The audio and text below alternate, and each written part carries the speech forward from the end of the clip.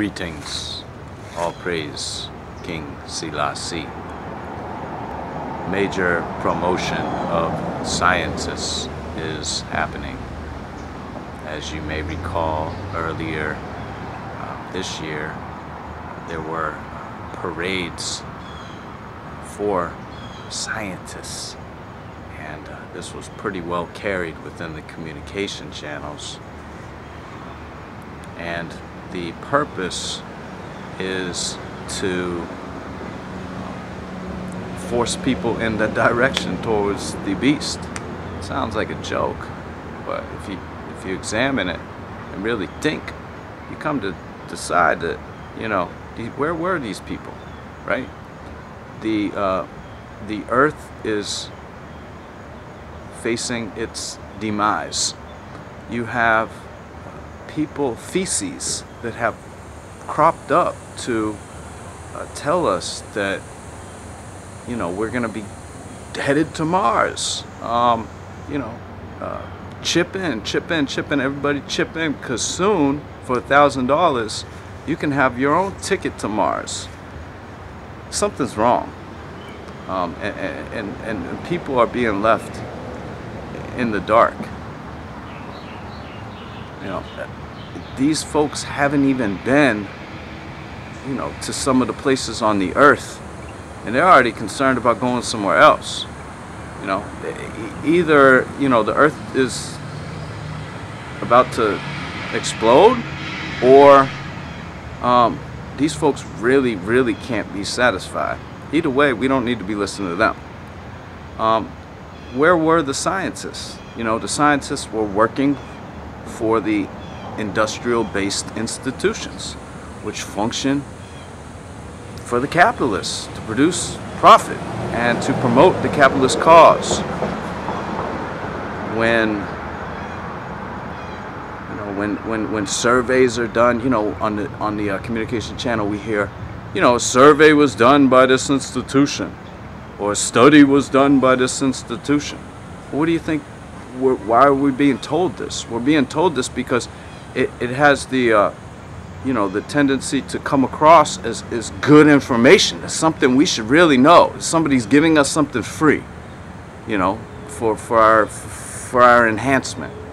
But reality is you know this is a feeding process. They're feeding people uh, information so as to you know psychologically alter um, you know these these folks perception.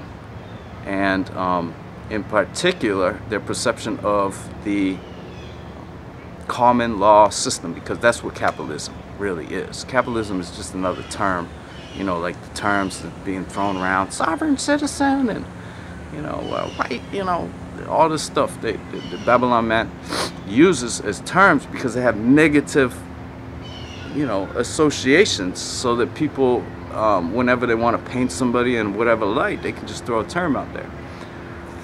Well, you know, this is basically the same thing. I mean, misnomers, um, possibly misnomers, but either way, um, these are terms so that um, people, you know, just don't really define what it is they're talking about. And if there's no real uniform definition, then essentially we're just talking. You see? Um, so we'll come together and figure out what it is we're fighting against. Fighting against common law.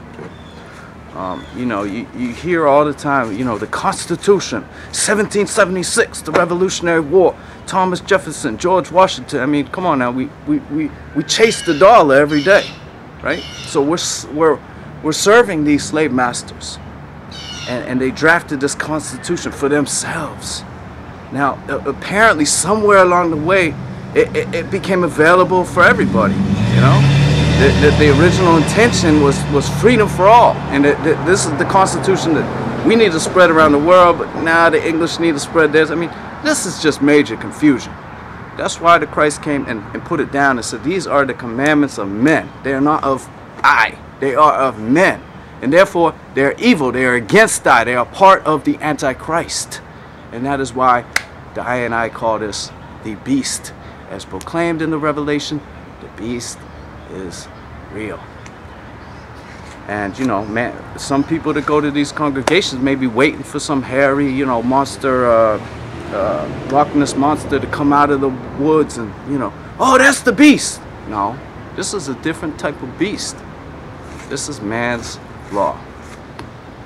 You see, in the scripture, we are given a law to follow. This is the most fundamental principle of highway. The man has a vow, a covenant to fulfill with the Creator. And this is what pleases the Creator.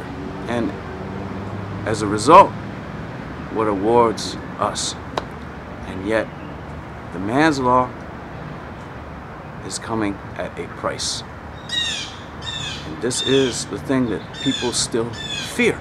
You know, the man can tell the people, you're going to drown tomorrow, but stay where you are because it's the law. And you know, people that actually have discovered that man is wicked will probably think for themselves and survive. But those who have put their faith in man will die.